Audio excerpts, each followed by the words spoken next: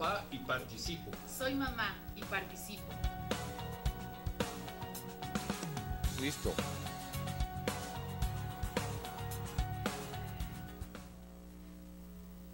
¿Qué tal? ¿Cómo están? Bienvenidos nuevamente. Les damos la más cordial de las bienvenidas a Papás Participando. Nos da muchísimo gusto que poder compartir junto con todos ustedes este espacio en el cual los papás podemos analizar, discutir, opinar, criticar acerca de distintos temas que son importantes en la formación de, nuestros hijos. Uno de ellos es el de eh, precisamente el que vamos a analizar el día de hoy, que hemos tratado en algunas ocasiones algo al respecto, que es precisamente acerca de la importancia que tiene para nosotros como papás y también para nuestros hijos el cuidado en, cuanto al consumo de los contenidos en los medios.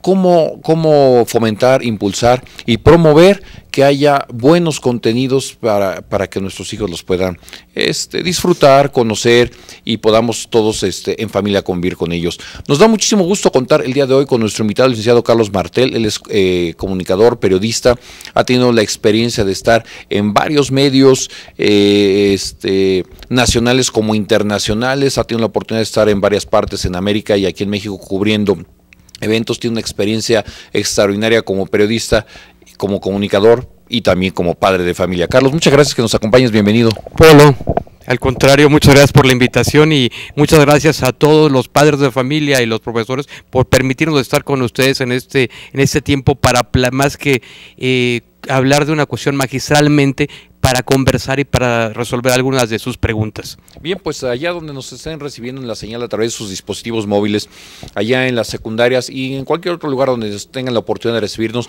nos da muchísimo gusto y vamos a comenzar tratando este tema que es precisamente acerca de los contenidos en los medios de comunicación. ¿Cómo es que se encuentran? ¿Qué es la situación que nosotros estamos viendo actualmente con los medios de comunicación?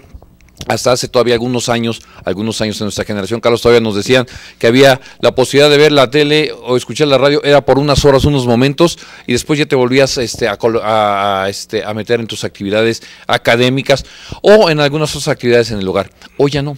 Hoy ya ver la televisión, escuchar eh, música o la radio en general puede ser desde cualquier dispositivo móvil, como nos están viendo también en este momento, en esta señal.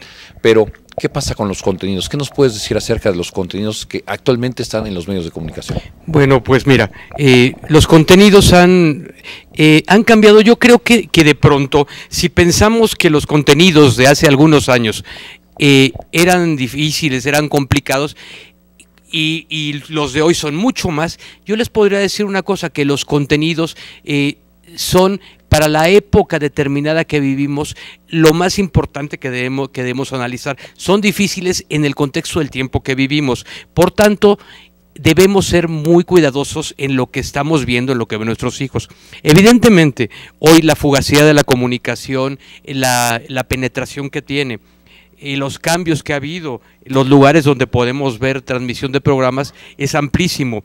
Por lo tanto, requiere un reto mucho mayor en cuanto a que miremos en qué lugares están nuestros hijos y nosotros mismos viendo televisión, leyendo, eh, chateando, revisando blogs. Hoy es precisamente la complejidad. Para darles una idea, antes pasábamos por un puesto de revistas, de periódicos, de la esquina, de la vuelta de la casa, y veíamos 50 o 100 publicaciones Hoy no tenemos que salir a la calle para ver, hoy los vemos en las pantallas de televisión, cualquier cantidad de canales, cientos de canales de televisión, cientos de señales de radio, muchísimas portales de internet. Evidentemente el cuidado es mayor. No podremos estar revisando todos y cada uno de los lugares, pero hoy hay, hay de alguna manera algunas herramientas que podemos utilizar. Los contenidos sí son complicados, pero dependen de una formación previa de los hijos. Lo primero en este sentido respecto de los contenidos es que nuestros hijos estén educados en valores y les hayamos guiado desde la edad temprana hasta yo diría eh, la edad de preparatoria, etcétera, respecto de los valores que queremos para ellos y para sus familias.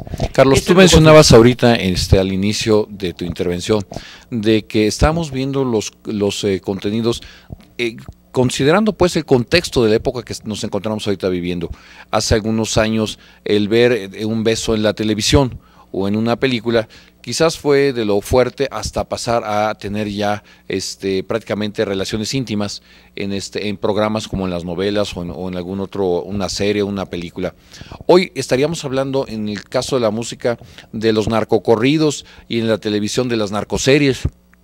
¿Sería eso lo que nosotros nos merecemos? ¿Es ese el, el, contenido que nosotros deberíamos estar mostrando? ¿Acaso no estamos haciendo apología de esto? Sobre todo en este momento en donde nos dicen que los especialistas, tú que has estado más metido en ello, que los niños lo que ven lo imitan ahora estamos este, nosotros trabajando con jóvenes de secundaria, adolescentes, cuya etapa cuyo momento en la vida ya no es tanto de, este, de, imitar por imitar, sino que ya son más críticos. Empieza a haber una un cuestionamiento, pero al mismo tiempo están descubriendo parte de su persona, están empezando a formarse, están en ese camino previo, es la etapa precisamente del bachillerato en este momento que están en la, en la secundaria, y la, la, este, esta etapa que ellos están viendo a través de los medios de comunicación, de los contenidos que les están ofreciendo, es algunos personajes, algunos estilos de vida que se convierten en aspiracionales para muchos de ellos. ¿Cómo formar, cómo educar, cómo analizar con ellos, con estos chicos, con los que tienen entre los 13 y los 16 años en la etapa en la secundaria, cómo explicarles, este asunto de los, de, los contenidos, porque, y permíteme nada más un, un, caso, ahora que hemos visto también los temas de violencia, cuando veíamos una explosión o un ataque en una película y luego ver la noticia de cuando se derrumba una de las torres, o las dos torres gemelas, ¿cómo explicarle al niño que eso no es ficción y que eso sí es realidad? Cuando este tipo de situaciones se están viendo ahora en los medios de comunicación, Carlos. Pues explicarles fundamentalmente con cercanía, con palabras sencillas. Eh, los muchachos de secundaria evidentemente están en una búsqueda. Su mundo, los poros de su cuerpo, sus oídos, sus ojos están abiertos porque es la etapa en donde están explorando de mayor manera el mundo. El mundo fuera de la, incluso de la, de la casa. Entonces, con cercanía, con mucha confianza, con, mucho, con mucha inteligencia. Los muchachos son sumamente inteligentes. Les pongo un ejemplo. Hace algún tiempo platicábamos con, con unos niños eh, que estaban viendo, estaban en un taller de viendo programas de televisión de superhéroes. Veían a Superman, a la Mujer Maravilla, etc. Y alguno de ellos llegó con su capa y le, preguntábamos a eh, varias personas, oye, y entonces ahorita te vas a aventar desde esa escalera de, de, de, 20 centímetros y vas a volar. Me dice, no, Superman no existe. Y yo no soy tonto, no me voy a aventar por ahí porque me caigo y me puedo lastimar. Si nosotros hablamos inteligentemente con los muchachos y les mostramos toda esa cantidad de cosas malas. Evidentemente, estamos viendo que hay apología, lo decías tú, Leopoldo, que se hace grande la violencia, que se difunde de muchas maneras. Y nosotros tenemos que enseñarles a los niños que eso no es lo natural que en la casa vivimos en tranquilidad, etcétera. Por lo tanto, en la sociedad se debe vivir de esa misma manera, sin recurrir a la violencia, sin usar la violencia. Lo mismo debemos enseñarles o, apoyarlos en el análisis de los medios. Hace unos días eh, se estuvo publicando y, y, sacando en los portales, en las redes sociales, de un accidente que hubo aquí cerca de donde estamos transmitiendo, en Paso de la Reforma, donde chocó un auto. Como noticia, ese es el hecho, ocurrió. Bueno, finalmente nadie nos pregunta, que nadie nos hubiera interesado qué le ocurrió, pero los medios nos lo traen. Pero no solamente ocurre eso, sino que días después nos vienen a traer ya por redes sociales y por las mismas pantallas y por las mismas páginas de periódicos los rostros, las caras de estas personas que iban acompañando a la persona que se salvó. Si nosotros podemos ese tipo de cosas, diremos a los niños, oye, ¿verdad que a ti no te gustaría que si pasara algo en nuestra casa se estuviera difundiendo esa violencia en los medios? ¿Verdad que no te gustaría que estuviera la cara de una persona, de un amigo? Vamos, ese tipo de cuestión. Y también enseñarlos que eso lo deben buscar en los medios. Voy más allá. Yo hace años, cuando era subdirector eh, editorial de un periódico importante de circulación nacional, eh, sufrí una pérdida muy grave de un familiar.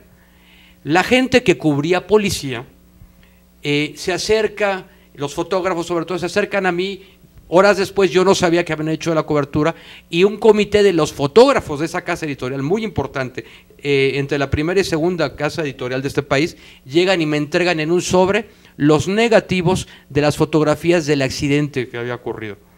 con esas palabras, con todo el respeto que, te, que nos mereces para que no se difundan estas fotos de tu familiar en los medios. ¿Qué me quedó inmediatamente después de eso? Bueno, ¿y por qué no? Hacen lo mismo y tienen respeto, o hacemos esto y tenemos respeto con todas las gentes que andan en la calle y que son víctimas de delincuencia. ¿Por qué no les tenemos respeto? ¿Qué acaso el respeto solamente se da aquí y no se da allá? Lo comento porque después de que, de que en la familia busquemos toda esa comunicación inteligente y clara, también los padres de familia y los propios muchachos deben buscar hacia los medios transmitirles este mensaje de lo que no nos gusta que se difunda.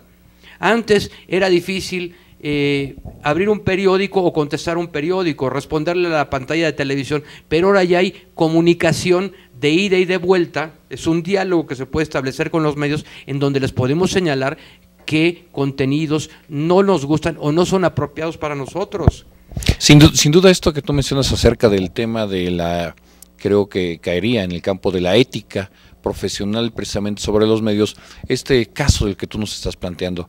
Pero ¿Qué pasa cuando eh, la propia autoridad, el gobierno nos, nos da, nos proporciona un sistema de clasificación para que nosotros conozcamos como papás, pero también los, jóvenes lo vayan viendo, los, eh, la porción de eh, violencia, del tipo de lenguaje, etcétera, que contienen los programas y las películas, de tal manera que yo sepa si deseo o no consumir tal o cual producto.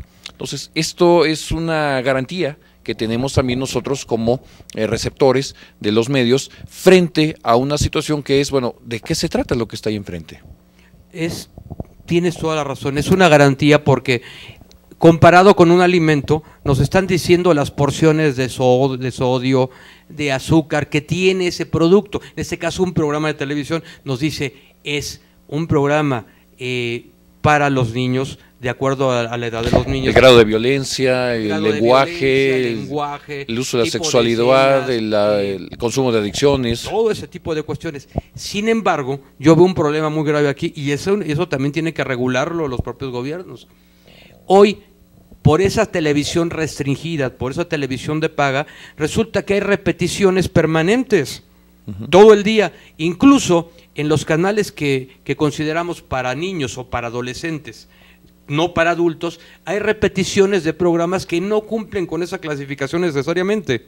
A mí me ha tocado ver programas con una alta exposición de violencia a las entre 2 y 4 de la tarde. Por lo tanto, vuelvo a lo mismo, independientemente de que haya esa regulación del Estado, la sociedad eh, la sociedad organizada, los padres de familia, los partidos políticos, eh, la gente de las diferentes eh, formas de pensar, ya sea religiosas, culturales, sociales, debe tener mayor participación. ¿Por qué? Porque al Estado y a los propios medios de comunicación pasan por alto, ya sea por error o porque en un momento determinado no tienen con qué cubrir ese tiempo o hay un interés claro de pronto de difundir esto. Hoy hemos pasado de una cultura aparentemente sin, sin eh, un color, sin poder decir que eres blanca, azul, negra. Hoy hemos pasado a una cultura que realmente está promoviendo la perversidad, está generando en muchos momentos altos grados de violencia, altas este, eh, infusiones de, de, malas palabras, altas cantidades de, delincuencia, de, una serie de disvalores. Yo lo, yo lo que le preguntaría también a, a los papás, a todos ustedes, papás y maestros, ustedes dejan pasar a su casa a cualquier persona o dejan la puerta abierta para que entre cualquier persona.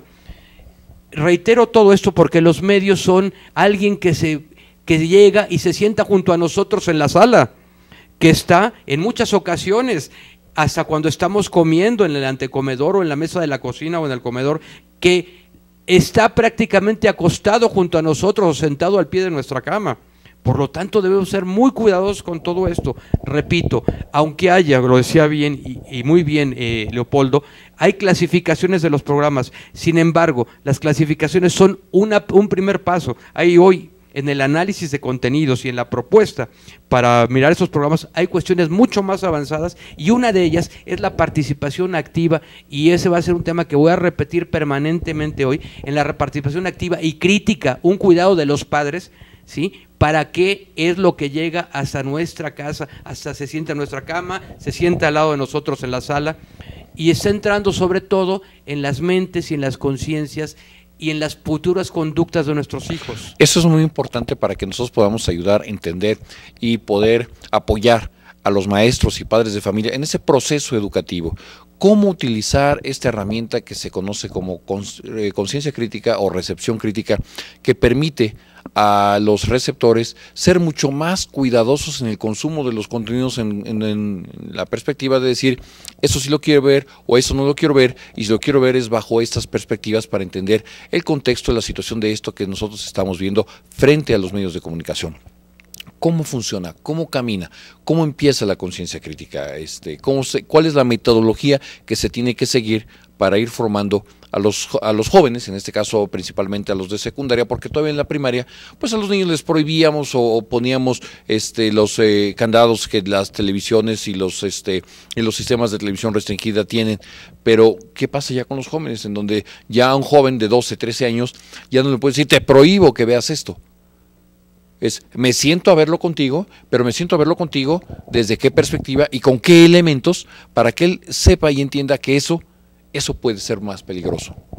Bueno, evidentemente hoy hay que sentarse con los hijos eh, para ver ese tipo de programas que están viendo. Pero no solamente con ellos, la preparación que tenemos como padres de familia es muchas veces en nuestros ratos eh, libres ponernos a ver sin estos muchachos ese tipo de programas para poder hacer un análisis muy sencillo. Esta metodología, lo que hablaba eh, Leopoldo, es el camino para el cual vamos a seguir para poder analizar ese tipo de programas. Les diría que es una cuestión fundamental eh, analizarlos desde la pregunta si estos programas ayudan a los niños, a los muchachos, en el tiempo, en el lugar en donde están y en el país en donde, en donde se mueven.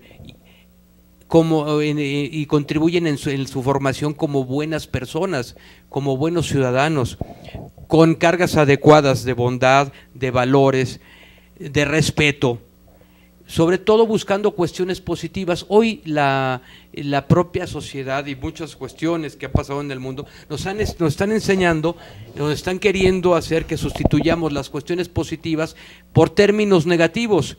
Por ejemplo, hoy el hablar de respeto, de respeto, se ha, se ha relacionado con una palabra que a mi juicio y la palabra tolerancia, una palabra que tiene hasta cierto punto una carga negativa. ¿En qué sentido? Yo tolero algo, pero no lo respeto del todo. Digo, yo te tolero por un rato, o te tolero. No me, no me simpatizo, pero te tolero. ¿eh? Bueno, hay otro caso que también nos hemos encontrado en, algunos contenidos. Es el caso, por ejemplo, de eh, las películas donde hay un alto grado de violencia.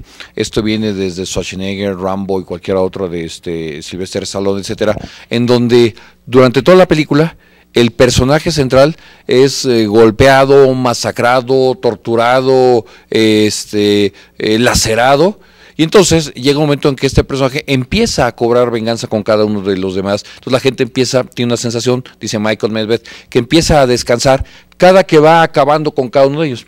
Hasta que llega con el cabecilla, el malo más malo de todos los malos que sale ahí en la serie en el programa, y lo tiene colgado en un precipicio, se está cayendo de un avión, está a punto de soltarlo y este y hasta que finalmente lo mata y la gente descansa. Pero el problema, dice Michael Medved, es que no hubo justicia. O sea, no se hizo justicia. O sea, no se llevó a quien cometió ese daño ante un juez y que ese juez impartiera justicia y que hubiera un castigo. Entonces la enseñanza es el castigo. En cambio, la enseñanza que están mostrando es que hay que asesinarlo. Que la única manera es a través de matar. O sea, nosotros tenemos que hacernos justicia por nuestra propia mano. Y vaya qué muertes, son unas muertes verdaderamente impresionantes. Y también la, la forma de sobrevivir de los personajes son impresionantes. Soportan caídas de 40 metros, se levantan, se sacuden y siguen caminando. Evidentemente, en un análisis crítico, inteligente, este tipo de cosas, es decirle, oye, eh, para empezar, ¿tú crees que este tipo de violencia eh, pueda ser real? O sea, que una persona caiga, etcétera, ¿qué le pasaría? ¿Qué pasaría si cayeras de 40 metros? No, pues yo creo que si caigo de 4 metros y caigo como cayó él, pues ya no me levanto. Evidentemente caer de 40 metros de un helicóptero, eh, quedando la vuelta sobre un precipicio, pues es imposible. Tampoco se está solucionando nada, porque la finalidad precisamente de, lo, de los medios, de los medios deben de aportar hacia la educación. ¿Cuál es la finalidad de, un, de, una, de la vida social? Pues tener un mejor futuro, tener una mejor, una mejor sociedad, un mejor eh, ambiente para desarrollarnos. Evidentemente, si la gente se pasara matándose una a otra, pues eh, no, no nos llevaría nada bueno. Entonces, es, ese tipo de análisis con inteligencia, buscar las palabras más claras para los muchachos y sobre todo que los convence y que se den cuenta que no es lo que quieren para ellos, ni para sus futuros hijos, ni para sus amigos. vamos a retomar esto porque hay otros ejemplos acerca de este tema, este, estas imágenes de eh, que se convierten en aspiracionales o este o terminan siendo este modelos o patrones aspiracionales. Eh, nos eh, comentan en cabina que están llegando ya algunos chats de quienes se comunican con nosotros. Se los agradecemos muchísimo porque esto es precisamente el espíritu de papás participando, tener la oportunidad de poder escuchar quienes participan allá y quienes también participan acá cuando nos acompañan directamente en el programa.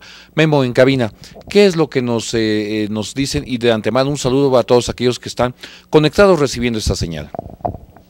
Es correcto, Leopoldo, y reiteramos el saludo que les envías. Fíjate que aprovechamos la ocasión para saludar a las escuelas que nos hacen favor de, conectarse, o bueno, las personas que están haciendo el favor de conectarse a través de nuestro chat. Y te, comento lo que nos, hacen llegar, a, sus comentarios que nos hacen llegar a través de este, porque nos dicen, con, con solo ver, eh, eh, con solo ver se repiten los patrones, es lo que dice, por acá dice Rubén, eh, nos estaremos acostumbrando a la violencia. Pepe dice, Está, está de moda en las redes trolear, así con, con este, entre comillas lo, lo, lo, lo, expresa, dice, está, entre, está de moda trolear a la gente. ¿Esta moda será pasajera? Y bueno, yo sigo aquí el pendiente y regreso contigo para cualquier otro comentario, Leopoldo. Claro, muchísimas gracias, Memo, y gracias a todos aquellos que se han comunicado con nosotros y seguimos escuchando y este y, comentando acerca de este todos los chats que ustedes nos envían. Claro, algunos especialistas, Carlos nos, los, reafirmarás, dicen que por ver un programa no necesariamente tienen que pasar las cosas, pero el hecho de que se vuelven ya repetitivos, la este eh, el contenido, el manejo de, este, de ciertos patrones, ya no estamos hablando solamente de uno, sino estamos hablando de, este, de varios, de varios que vienen generando este tipo de, de, este, de conductas. En relación precisamente a este comentario que nos hacían quien ahorita nos hizo favor de comunicarse a través del chat, viene a colación lo que tú mencionabas también de este accidente, hablábamos hace unos instantes de la violencia, pero muchos de los programas que hoy hacen apología del consumo del alcohol y de las drogas, y ya sabemos todas las situaciones, los problemas que hoy tenemos frente a esta situación. Y resulta que esta persona que tuvo este lamentable accidente donde perdieron la vida unos jóvenes también, resulta que, de acuerdo con algunos de los datos que han trascendido en los medios, es que había ingerido alcohol y que había ingerido drogas. Y que cuando se encuentra frente al Ministerio Público, este, esta persona no es capaz de, de, mantenerse en pie. O sea, está totalmente agotada, está totalmente cansada. Claro, efecto de todo lo que venía sucediendo después de esta situación. ¿Cuál es el, cuál es el castigo? ¿Cuál es el, este, si no existe una, este, una aplicación de la justicia ejemplar. Voy a poner otro ejemplo rápido que inclusive mencioné hace dos o tres programas. Recién en el fútbol mexicano se suspendió las actividades porque los árbitros estaban molestos por las acciones de violencia que se habían generado contra ellos. Inclusive uno de las, una de estas imágenes se alcanza a ver a un árbitro que es prácticamente golpeado, empujado, inclusive casi con la cabeza con, otro jugador. El castigo que le habían este, impuesto las autoridades era de unos cuantos juegos, seis, ocho juegos, y los árbitros, ese fue el motivo del que pararon, dijeron no. Total, llevaron hasta un año un año el castigo. Entonces el jugador pues quedó sorprendido. Pero a mí me parece que este es un castigo ejemplar por haber faltado a una autoridad, que en este caso es el árbitro. ¿Y qué va a pasar con este ese individuo que causó este, este daño? No estoy diciendo que lo haya visto totalmente en los medios, pero bueno, los medios promueven, incitan este tipo de cuestiones como es el consumo de drogas. De hecho, ya podemos ver con mayor precisión los, las formas de consumo de algunos tipos, como la heroína, la cocaína o la marihuana. Los estamos viendo, este, no quiere decir que con una película o con un programa el joven vaya a hacerse adicto inmediatamente, pero si los vemos de una manera repetitiva, como tú mencionabas hace un rato, se vuelve algo común, algo del cotidiano, y entonces ya parece si los normal. mejores momentos de la vida se acompañan con una cerveza, si las mejores charlas de la vida se disfrutan con un cigarro y eso lo ven en 5, 10 o 15 programas, pues evidentemente que por lo menos al muchacho le va, le va a dar algo de curiosidad por saber qué es lo que se siente.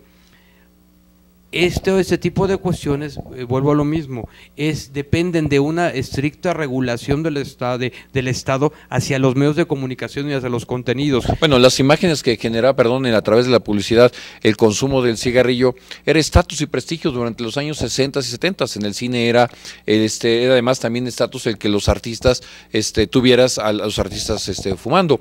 Este, el famoso comercial de este vaquero de una marca de cigarrillos, bueno, terminó muriendo de efisema pulmonar. Este, digo, eso es un caso real, Claro. después de haber fumado tanto tiempo. Sí, totalmente de acuerdo. Lo que pasa es que la- la- el vértigo, la rapidez con la que se vive hoy, eh, nos ha llevado, no, yo no digo que el cigarro, que el cigarrillo, que, la, que el alcohol eh, sean buenos, pero tiene un efecto eh, que puede durar varios años, muy grave, muy grave, y que debe tener de tenerse mucho cuidado con él. Pero hoy se promueven productos que pueden matar a una persona en la primera ocasión. Hay bebidas con un alto contenido de, azúcares que pueden generarles a los muchachos en la primera ocasión que, la- que las ingieren un problema cardíaco y un paro cardíaco fulminante. Hay es de ese tipo de cuestiones que evidentemente se debe tener mucho más cuidado, pero ¿quiénes son los paganos? O sea, ¿cuáles son las consecuencias? Tú lo comentabas hace un- ¿Cuál es la consecuencia de una persona que conduce y que tiene un accidente de este tipo? Bueno, va a ser lo que se juzgue las, auto- que juzguen las autoridades, lo que una auténtica justicia eh, que merezca que la gente confíe en ella, lleve, haga con esta persona. Pero ¿qué hay de los medios? Yo no, no pretendo eh, mandar a, eh, que los medios estén en el paredón y en la trinchera. Simple y sencillamente que si hay algunos excesos, algunas cuestiones, el Estado tenga un papel más determinante porque esas ideas tienen una consecuencia inmediata. Independientemente de la propia análisis crítico que tenga la gente, los medios deben tener mucho más análisis y yo invito a los partidos políticos, invito a las asociaciones a que se involucren más en el seguimiento de, todos estos medios. ¿Por qué? Porque tienen consecuencias graves e inmediatas. No en todos los sentidos. Los medios son maravillosos para educar, para difundir valores, para eh, mostrar sitios muy bonitos donde se puede vacacionar, para mostrar una serie de conductas que ayudan a la sociedad, sí, pero también pueden ser muy, muy perjudiciales si nos demuestran este otro tipo de cosas. Entonces, Vam- vam- Vamos retomando algunas de las ideas que estás ahorita mencionando para ir recapitulando, porque bueno, el tiempo también se nos va agotando, pero en la primera, en, diríamos, papás, maestros, un tema sustancial entonces es poder ver los contenidos que están viendo nuestros hijos en familia punto número uno. tener la posibilidad de discutir acerca de ellos, analizar lo que estamos viendo, ya sea la serie, ya sea la película, eh, ya sea este programa, etcétera, discutir acerca de ellos. Otro aspecto que ahorita mencionamos que es importante, el poder también tener el acceso a estos criterios de clasificación que se usan para, para los programas y las películas. Están publicados ahí, señores padres de familia, maestros, jóvenes, para que ustedes también los vean, están publicados en el Diario Oficial de la Federación. Hoy con la gran facilidad que tenemos a través de este del internet, es entrar a alguno de estos buscadores, entra uno de estos motores de, de búsqueda, le da uno criterios de clasificación para televisión o le da uno criterios de clasificación para cine, ahí aparecen. Pero lo importante de esto es que además los leamos.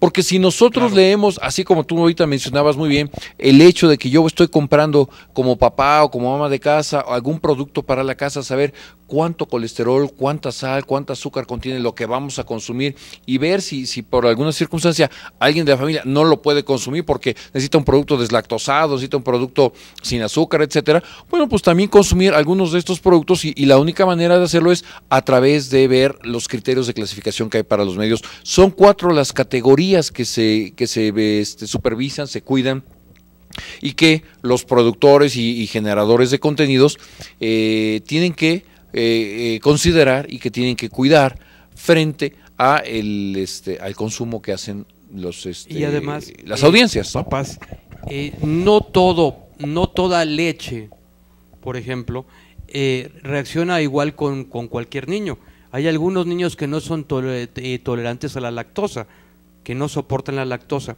habrá también alguno de nuestros hijos que por su tipo de formación, porque puede ser hiperactivo, merece, o sea, esa clasificación debe también ser analizada con mucho cuidado, porque no va a influir un programa eh, igual en un niño hiperactivo que un niño que tiene un, un desfogue energético diario normal o un niño que tiene déficit de atención. Vamos, aparte de conocer bien esa clasificación de los programas, debemos conocer profundamente a nuestros hijos. Repito, si nuestro niño tiene intolerancia a la lactosa, pues no le vamos a dar leche con lactosa.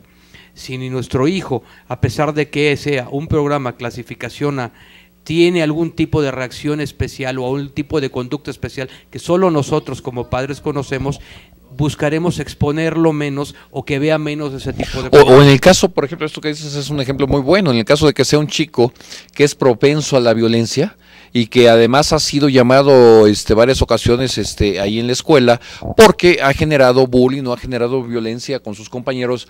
El hecho de que esté viendo programas este, con alto grado de violencia, pues por supuesto que no ayuda, suman. A lo mejor no son los que le estén dando todo, pero a lo mejor sí están sirviendo un poco de detonantes frente a una situación de, de ese tipo, como tú mencionas. Si es un niño que esa violencia. O incluso una jovencita, ¿eh? La, O sea, la ha generado por cuestiones externas a la casa.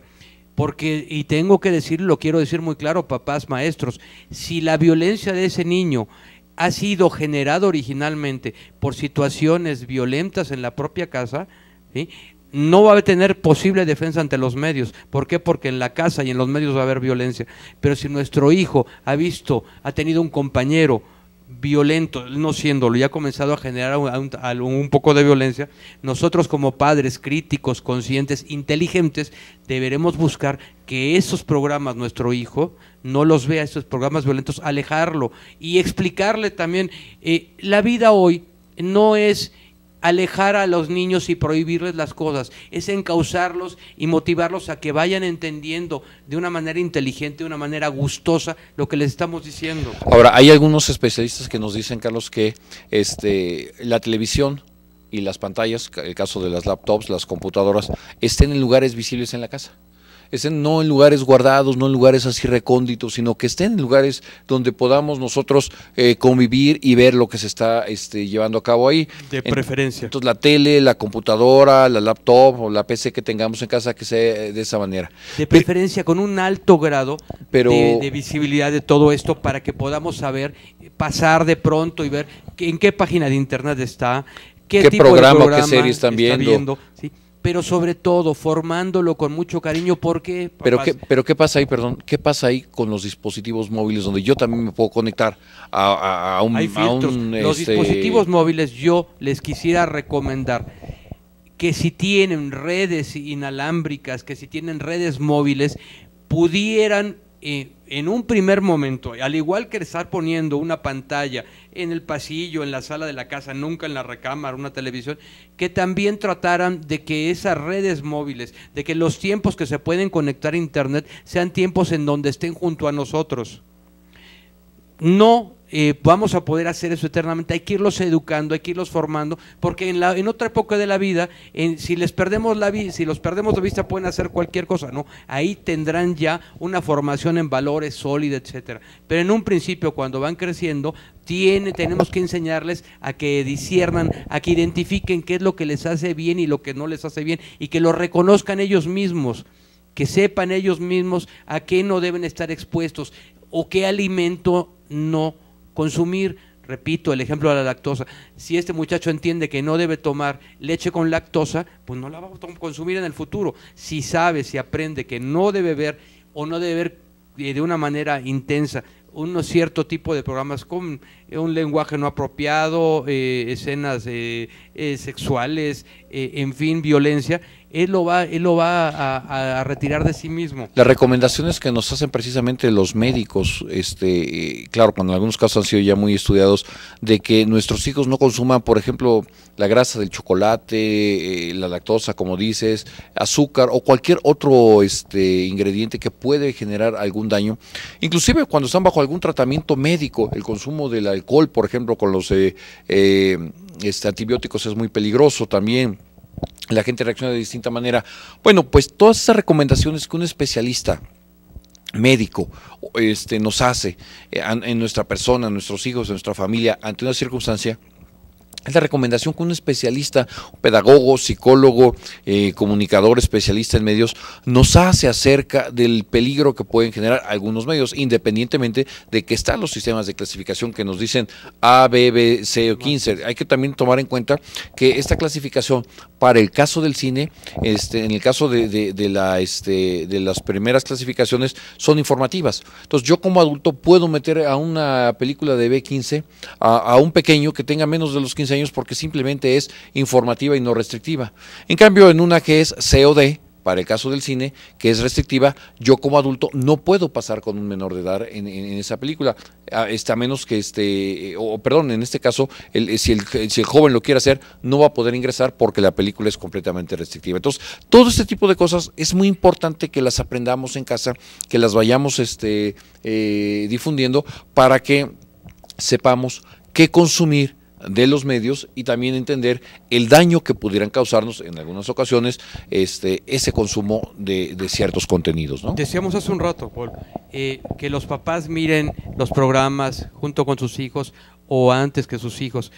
Pero como son tantos programas de televisión, tantos productos comunicativos que así se les denomina, por todos lados, mi recomendación también sería que se organizaran entre varios padres de familia y que hicieran talleres en donde cada uno viera distintos programas y llegaran y los comentaran en conjunto, una experiencia compartida donde el programa que yo como padre no pudo ver, pero lo vio eh, la mamá de, uno de los, de los, eh, de, los amigos de mis hijos, lo puede comentar y así podemos tener un mejor análisis y unas mejores bases para poder eh, aconsejarles a nuestros hijos.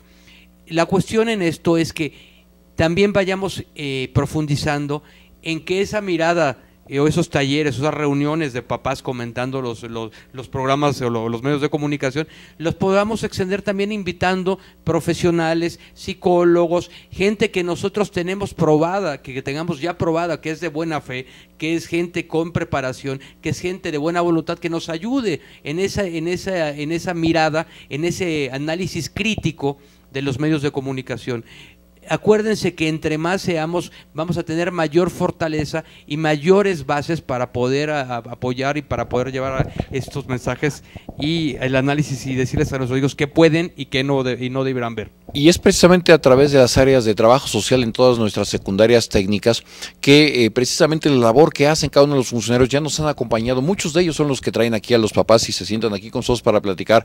Ellos hacen una labor extraordinaria. A través de ellos pueden coordinarse eh, para que este, la Unión Nacional de Padres de Familia, por ejemplo, esta institución o cualquier otra institución que ustedes consideren que puede ayudarles frente a una situación de eh, eh, formación, análisis y conocimiento acerca de lo que los medios están influyendo en nuestros hijos. Y como bien eh, comenta ahorita Carlos Martel, nuestro invitado el día de hoy, poder platicar del programa, de la película o de la serie abiertamente entre todos nosotros y no simplemente en un radio pasillo entre papás oye, y que hijos están viendo esto, oye, sino que tengamos la posibilidad de estar todos juntos participando escuchando, analizando y criticando, porque finalmente esa es la labor de papás participando. Quiero agradecerles a todos ustedes, a Carlos también, por supuesto que como especialista invitado el día de hoy, pero también como padre de familia, está aquí con nosotros en Papás Participando.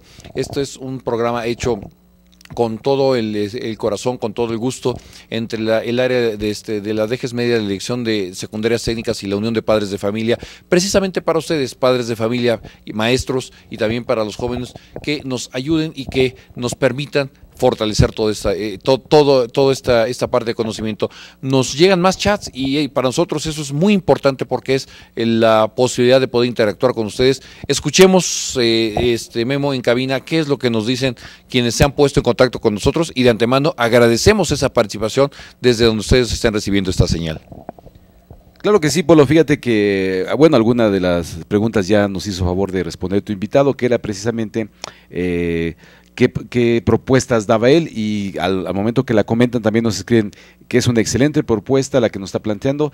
Eh, también nos dicen que hay que tomar en cuenta que en la actualidad las condiciones de los padres de familia es que ambos trabajan y difícilmente tienen el tiempo, así lo mencionan, eh, para dedicar a hacer el análisis que proponen.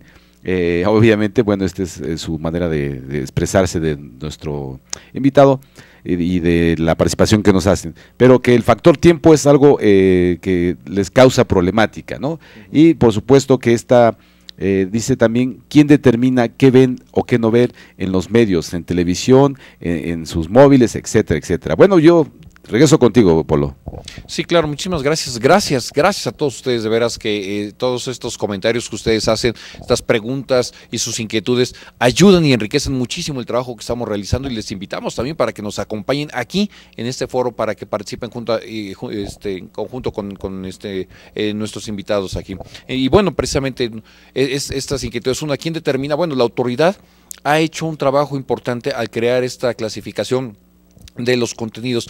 Pero también hay otras instituciones, inclusive han estado invitados aquí con nosotros, como ha sido la Asociación a Favor, lo mejor en los medios, que han hecho un trabajo muy importante. Eh, ustedes pueden entrar a su página de www.afavorlomejor.org, donde hay mucha información sobre este tema que Carlos nos ha venido este, platicando acerca de, este, de ello. Pero también había otra inquietud que creo que es, es, es importante este, puntualizar y señalar respecto a eh, la dinámica que se vive en el hogar. Efectivamente, hoy en día prácticamente ambos padres trabajamos, estamos fuera una buena parte del tiempo y, y, eso es lo que nos falta. Tiempo para podernos nosotros este, eh, eh, tener una dinámica con nuestros hijos. Creo que podemos dárnoslo, a pesar de todo. Eh, ¿Tú cómo lo habla, ves ahí, eh, eh, Carlos? De muchas cuestiones, entre ellas eh, efectivamente el tiempo eh, que damos, que podemos dar o que pueden dar algunos papás, como tiempo de calidad, no tiempo en cantidad.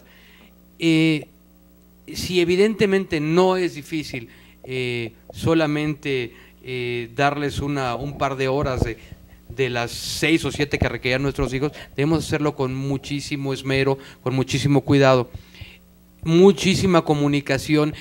No permitamos también, independientemente de que haya un programa de televisión bueno, un medio de comunicación bueno, que ese tiempo que tenemos con nuestros hijos lo secuestre o no lo quite algo. Estemos con ellos en ese tiempo analizando programas, platicando de sus vivencias, reafirmando sus valores, motivándolos en sus logros, acompañándolos en sus cosas difíciles. No permitamos que tampoco los, los medios no fueron concebidos para ser padres, padres adoptivos ni padres sustitutos, fueron, fueron concebidos para ser un- una compañía, un acompañamiento de, de- de la vida, pero no, no papás ni mamás. Entonces, denles a sus hijos el, me- el mayor tiempo de comunicación, el de comunicación efectiva, cariñosa, inteligente. Busquemos que independientemente de que los medios sean muy buenos, no estén sometidos tampoco a alto, tiempo durante, durante de- del día durante los medios. Pidámosles que recurran a otro tipo de cuestiones como libros, juegos, en fin, desarrollo de la inteligencia. Volvamos un poco más equilibrado esto. Los medios, repito, no nacieron para con, con la finalidad de, de- de acompañar a nuestros hijos de ser padres. Pueden ser unos excelentes compañeros en la medida que tengan buenos contenidos, pero tampoco expongamos. Bueno, el solo hecho de exponer a un muchacho a tiempo de un teléfono móvil, un dispositivo móvil o de una computadora o de las- la radiación que emite una televisión puede ser también dañino para la salud. Consúltenlo con los médicos. Puede ser también muy peligroso. Eh, de modo tal que, así como debemos dar nosotros tiempo de calidad, debemos pedirles que tengan el la mayor cantidad de tiempo eh, sometidos o, en- o viendo televisión, escuchando eh, música en sus dispositivos móviles, etcétera, ¿no? Sí, sin duda alguna, yo creo que como papás, y ya también hemos tenido la oportunidad de comentarlo en algunos otros temas, el buscar esos espacios para podernos integrar es muy importante. Hay casos, nos han comentado algunos especialistas, que de repente subimos al auto o, o estamos este, transportándonos este, hacia, hacia algún lugar. Y resulta que lo primero que hacen nuestros hijos es con sus dispositivos, se aíslan, se conectan sus audífonos y ya no platican con nadie. Cuando es una oportunidad de poderlo hacer, a veces ni siquiera es en el transporte, a veces es directamente ahí en la casa, estamos sentados y se conectan sus audífonos y estamos este, en una reunión, estamos comiendo, entonces se pierde esa posibilidad. Se rompe Y- completamente, cada quien Exacto. come su propia pantalla, tiene sus propios diálogos, sus propios pósters con sus fotos, ¿no? Los tiempos de familia, los tiempos de familia deben ser intensos en comunicación. Se vuelve algo, algo completamente unilateral. Y creo, sin duda alguna, que esta es la posibilidad de hacer algo que nos permita, nos permita a todos encontrar los espacios para poder convivir y dialogar. Si hay el espacio para ver el programa, hay también el espacio para poder discutir acerca del programa porque Totalmente. finalmente si vamos a ver una película y nos vamos a tomar un café o vamos a cenar o en fin vamos a, a dedicar un espacio posterior tenemos la oportunidad de discutir acerca de lo que está ahí sucediendo Eh, este ya el tiempo casi nos está comiendo Carlos y creo que sería conveniente eh, algunas conclusiones algunas recomendaciones que pudiéramos hacer a los papás y a los maestros inclusive también a los chicos de cómo tener esta mirada crítica hacia los medios. ¿Cuáles serían las recomendaciones, los puntos finales que nos darías tú como, especialista?